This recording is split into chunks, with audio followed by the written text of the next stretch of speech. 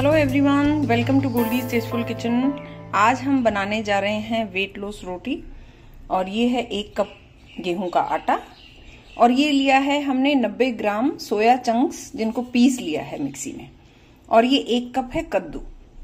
ये जो कद्दू आता है ना, पेठा, ये देखिए इस टाइप का।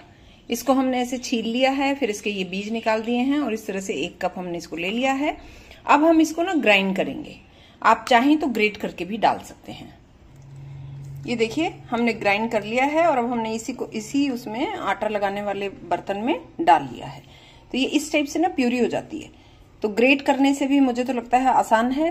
बच्चों को भी खाने के लिए दे सकते हैं। अगर आप केवल गेहूँ की रोटी बना रहे हैं और उसमें आपको बच्चों को कद्दू या लौकी या कुछ इस तरह से देना है तो पीस कर आप उसे दे सकते हैं। अब हम डालेंगे इसमें थोड़ा सा नमक। और पहले हम इसको बिना पानी के ही मिक्स करने की कोशिश करेंगे।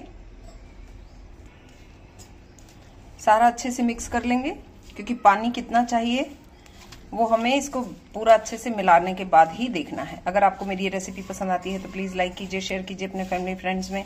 बेल आइकन प्रेस कीजिए ताकि मेरी लेटेस्ट अपडेट्स आप तक पहुँच सकें। ये देखिए, जब इस तरह से हम मिक्स कर लेना इसको सारा, तब फिर हम इसे थोड़ा थोड़ा पानी डालकर गूंथना है।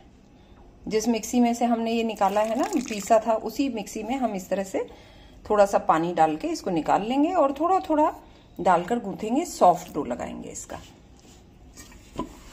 देखिए इस तरह से इसको हम मिक्स कर लेंगे सॉफ्ट डो लगा लेंगे इसका, और लग जाता है आसानी से।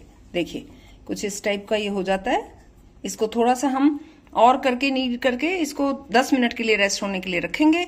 और ये मैं आपको यहाँ बताऊँ, ज़्यादा है, छह रोटी के लिए है। तो आप जब भी जितनी क्वांटिटी में बनाना चाहें, उसी से, उसी तरह से इसका पोर्शन ले सकते हैं। आटा रखे हुए हमें 10 मिनट हो गई हैं।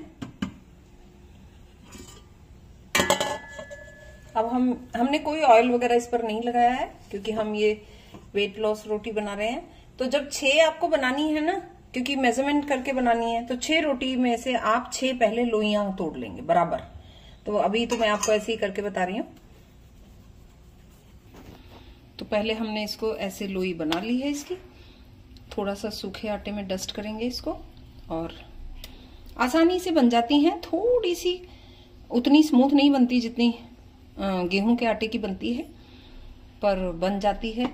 अगर आप कुछ हेल्दी खाना चाहते हैं तो मेहनत तो करनी पड़ती है। ये देखिए। और इसको हमें ना बहुत पतला नहीं बनाना है। ना पतला, ना ज़्यादा मोटा। ये देखिए कितने आसानी से, क्योंकि हमने सब कुछ पीस के डाला है ना तो ये आसानी से बन रही है रोटी। अब हम इसको डालेंगे तवे पर। तवा ऑलरेडी हमने गर्म कर दिया था तो रोटी के सिकने की करते हैं इंतज़ार। रोटी को पलट लेते हैं। देखिए, अच्छे से यहाँ से सिक गई है। अब पीछे तरफ़ से भी सिकने देंगे। हाँ गैस आपको मीडियम टू लो रखनी है, ताकि क्या है, जले नहीं। रोटी अंदर से अच्छे से पक जाए। क्योंकि अगर आप हाई फ्लेम पर सेक देंगे ना तो रोटी के अंदर से आटा जो है वो कच्चा कच्चा लगेगा। तो देखिए, दोनों तरफ़ से अच्छे से सिक गई है। अब हम इसको फ्लेम पर कर लेंगे।